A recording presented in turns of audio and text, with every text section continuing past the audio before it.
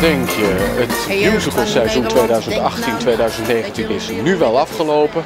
Krijgen we nog een première? Het schaap met de vijf poten. Het zal je kind maar wezen, ja, ja, ja, ja.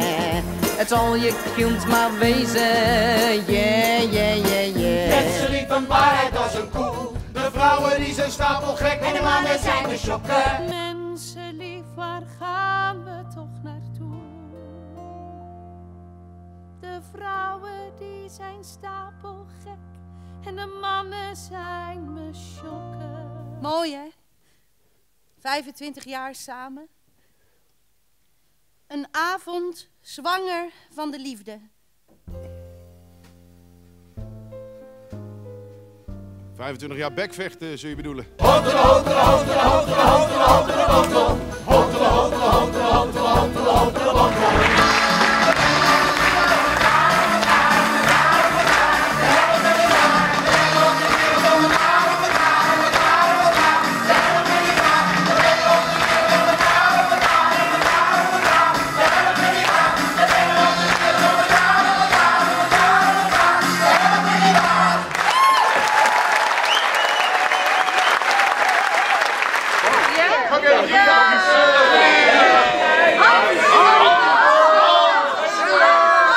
Ik vond hem wel lekker gaan. Het was, eh, ja, energie was goed. Eh, ja, je bent jezelf natuurlijk na, in de pauze denk je, ging het goed? Volgens mij ging het wel goed. Dus ja, je, je bent zo'n première, ben je toch altijd met andere dingen bezig. Eh, hebben ze het gehaald? Zijn ze, je vrienden en familie op tijd in de zaal? Dat soort dingen. Dus je bent eigenlijk niet meer met de voorstelling bezig. Maar volgens mij ging het heel goed. blij dat het eh, achter de rug is. Ja? Ja. Was het Er een is wel erg zware... naartoe gewerkt. Ja? En dan eh, is het wel eh, fijn dat, het, eh, eindelijk, eh, dat we lekker kunnen gaan Ja. spelen. Ik was ook helemaal niet heel erg zenuwachtig van tevoren. Waardoor ik daar wel weer een beetje dat ik dacht, oh, waarom ben ik nou niet zenuwachtig? Maar nee, het ging wel goed. Ik vond het wel lekker gaan. Fijne zaal, warm gevoel. Al die jaren dacht ik dat er maar één Bart Kams was, maar ik zag er er weer twee. één. Ik doe gewoon Wart na. Ja. ja. Nou, we zijn natuurlijk één eigen tweeling, dus eh, ja. Voel je niet de hete adem van de Ja. veel beroemdere Bart Kams eh, in je nek? Veel beroemd. Ja, ja. Heeft Hij gaat 1 mei beginnen. Ja? En dan neemt hij de rol over. Oh. En eh, ik ben heel benieuwd, want dan kan ik dus ook in de zaal gaan zitten. Dat vind ik heel leuk. Kan ik Ja. kijken hoe het eigenlijk moet. Ja, nou, niet zo bescheiden. Maar heeft dat je een beetje ontmoedigd? eh? Nee, nee, want hij heeft me ook best wel geholpen. We hebben elkaar eh, samen ook een beetje de rol ontwikkeld, zeg maar. Mhm. En ik heb natuurlijk ook...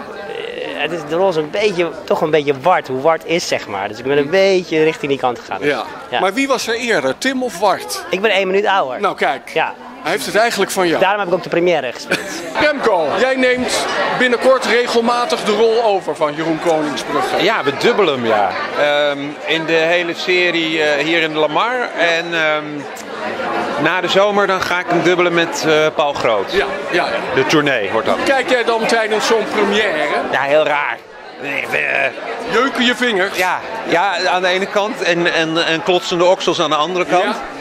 Het is toch wel spannend gewoon dat je denkt, en ik zat ook de hele tijd zo mee te doen en te denken, ja, links. Hij maakt ook ergens een verspreking. Maar ik neem aan dat jullie geen kopieën van elkaar worden. Nee, nee, nee, nee. Nee, ik, eh, ik, had hem, ik heb hem ook al heel anders ingestudeerd dan hij.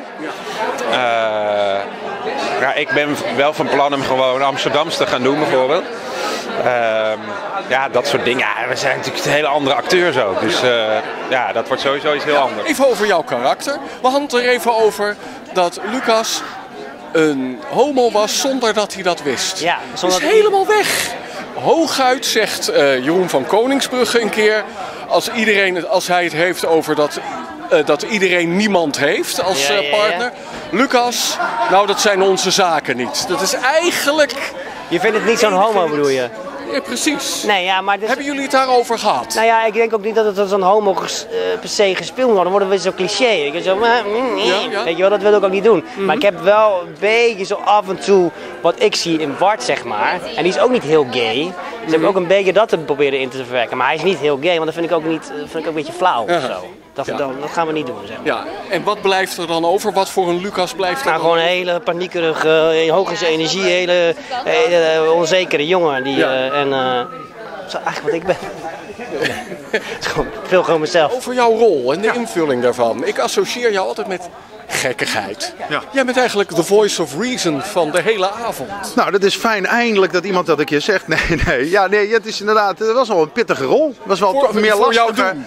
Nou, eh, officieel, gewoon überhaupt de rol is, hij lijkt heel makkelijk, maar die, die man doet de eerste helft eigenlijk niets. Ja. Maar ik moet wel wat doen. Ja. Dus het is, dat was heel erg zoeken. Ja. Dus, eh, maar heel leuk. Ja. Ik zat te denken, heb ik jou wel eerder in een redelijke rol gezien? De surprise misschien? Ja, dat is, nou ja, dat is een beetje licht autistisch, maar inderdaad. Oh. Ja.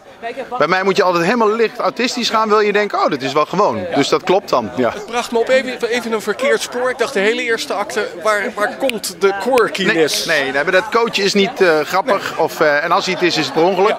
Nee, die is daar helemaal niet mee bezig. Ja. Dus dat was voor mij ook wel even wennen. Ja, ten slotte, hoe is het je bevallen? Musical. Ik vond het heel spannend. Ja? Eh, maar ook heel leuk, want het is een hele leuke groep. Dus dat vond ik heel leuk aan. En ik heb natuurlijk heel lang cabaret gedaan met z'n drietjes. En dit is dan zoiets anders. Maar wel echt heel leuk. Ja. Ja. Je bent een nieuwe stap begonnen. Ik weet niet of ik het nog een keer zou doen. het is echt meer, meer watse ding of zo. Ja? Maar eh, ik vond het wel echt heel tof.